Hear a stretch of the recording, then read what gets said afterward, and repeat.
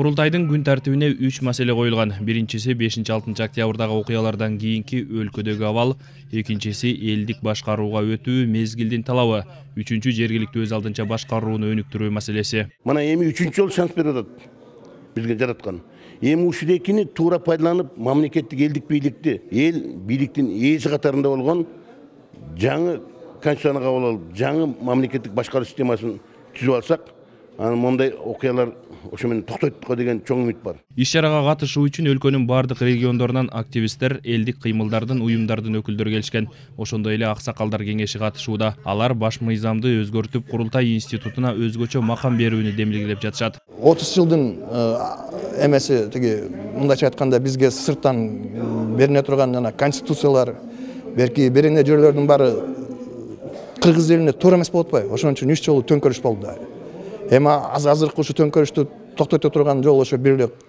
курултай болуп эсептелет. Да азыркы биз колдонуп жаткан баш мыйзамды оңдоп түздөбөй эле. Мына бүгүн курултайда да айтылып атат.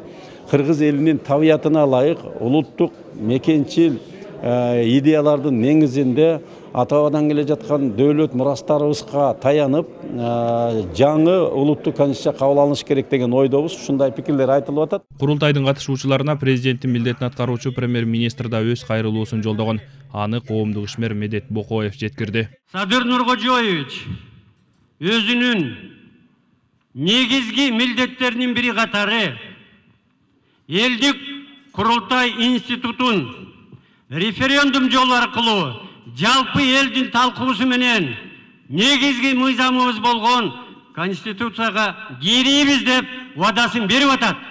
Элдик жыйындын жыйынтыгында жети бөлүмдөн турган резолюция кабыл алынды. Амантур шергазиев эсентур абыкеев ала тоо жыйырма төрт.